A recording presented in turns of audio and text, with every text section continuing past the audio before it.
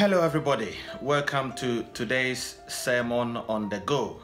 Today's Sermon on the Go is from the Gospel of Matthew, Matthew chapter 6, verses 33. Let's hear the reading of God's Word. But seek first the kingdom of God and his righteousness, and all these things shall be added unto you. This is the word of the Lord. Thanks be to God. Brothers and sisters, the background to this story is uh, Jesus is giving his sermon on the mount. So, what I've just read to you forms part of the sermon on the mount, which is from Matthew chapter 5 to Matthew chapter 7. And here Jesus is saying, Seek first the kingdom of God and his righteousness and all these things will be added unto you.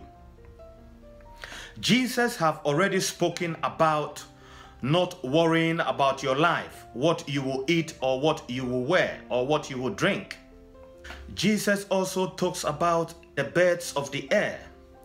The birds of the air don't go to work, they don't pay bills, they don't store things in storage, they don't cook, but our Heavenly Father looks after them. He also says that we should consider the flowers. The actual word used there is lilies. Consider the lilies. He says that they just grow. The flowers of the field, the lilies, the green grass, trees, they just grow. He goes on to say that if God clothes the grass of the field, which today is here and tomorrow is thrown into the oven, will he not clothe you or look after you? Then he says, Seek ye first the kingdom of God and his righteousness, and all these things will be added unto you.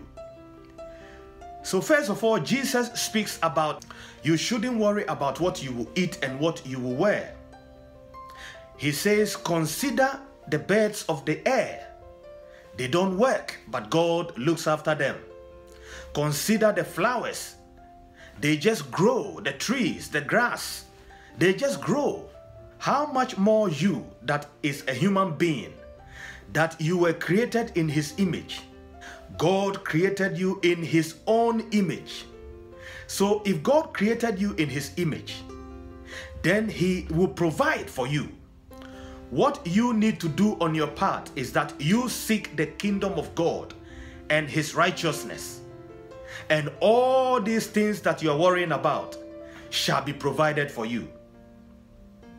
Here, Christians are urged to seek and pursue above all things the kingdom of God and its righteousness. To seek here implies to be continually or constantly in a search for something or making an intense or persistent effort to obtain something. To seek here means that you are continually seeking for God. You are in constant and persistently seeking for God. So when we think about seeking God, three things are important.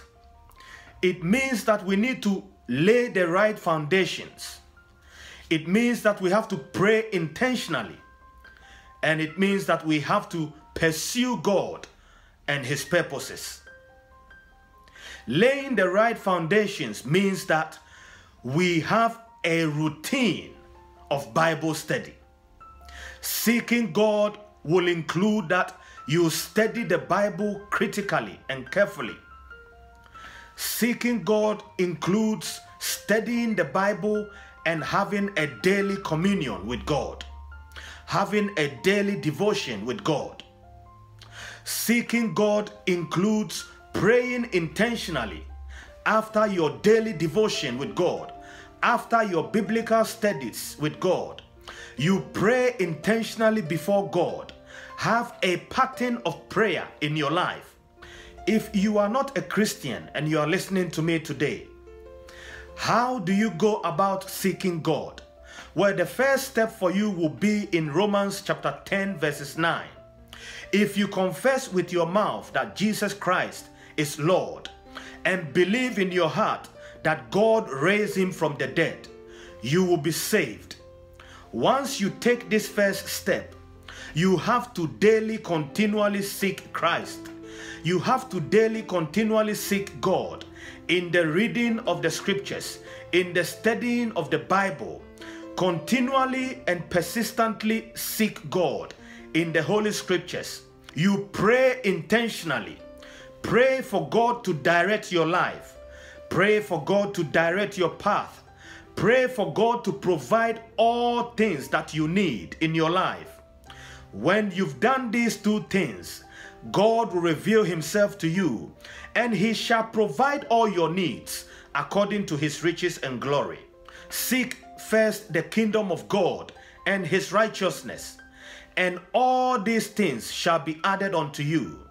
Friends, if life is battering you, if you are struggling in life, if life has not been fair on you, if you are going through hardship, challenges, problem, worry, anxiety, come to God with all of those things. Seek first the kingdom of God and his righteousness, and all those things that you are carrying will be taken away from you because God will provide all of your needs according to his riches and glory. God says that if you seek him first, if you seek his kingdom, if you seek his righteousness, then every other thing will be provided. It shall be given to you freely. You will not have to work for it. As long as you seek God and his righteousness, as long as you, you seek his kingdom and his righteousness, as long as you seek God daily in your life, as long as you pursue the righteousness of God, as long as you believe in God, God will provide all your needs. God will give you all the things that you require to have a successful life. All you have to do is to seek God and His righteousness, seek His kingdom and His righteousness, and all those things shall be provided for you. If you don't believe in God, if you don't believe in the existence of God, if you don't believe in Jesus Christ, I invite you to submit to Christ. I invite you to confess with your mouth that Jesus Christ is Lord and believe in your heart that He was raised from the dead by God. When you do that, you will be saved. Your name will be written in the book of life. You will become part of the biggest family on the face of the earth, the Christian family. When your name is written in the book of life, everything that you need in your life in order to have a successful living, everything you need in order to have a successful marriage, everything you need for your children to be successful in all their endeavors will be provided for you. God will protect you. God will guide you.